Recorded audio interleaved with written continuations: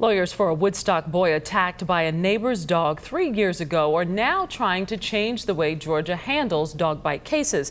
They say owners should be responsible for preventing their dogs from attacking. Channel 2's Rachel Kim has more from Cherokee County. This picture shows the visible signs of Braeden Kelly's injuries well into his recovery. His family says pictures of his actual injuries are too graphic to show. They also say his crooked smile is a result of an attack on Braeden by a neighbor's German Shepherd. Three years after the attack, his family's lawyer wants the dog's owners to be held responsible. The defense argued the dog's owners were not guilty of negligence and careless management, but the judge decided that there was enough evidence in the case to proceed to trial.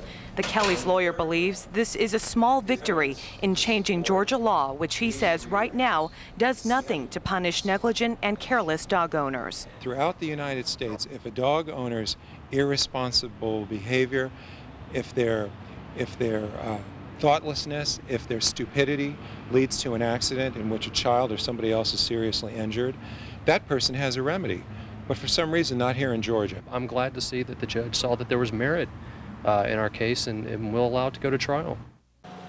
Braeden's dad also tells me his son is doing much better, but still has a lot of emotional scarring, as you can imagine. The defense attorney declined to comment because this case will be going to trial. Reporting from Cherokee County, Rachel Kim, Channel 2 Action News. The case of a dog attack on this little boy is going to trial. A Cherokee County judge made that ruling today.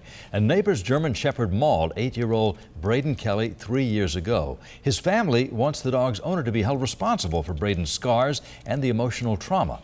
The Kelly family lawyer says Georgia's vicious dog law does nothing to punish careless and negligent dog owners.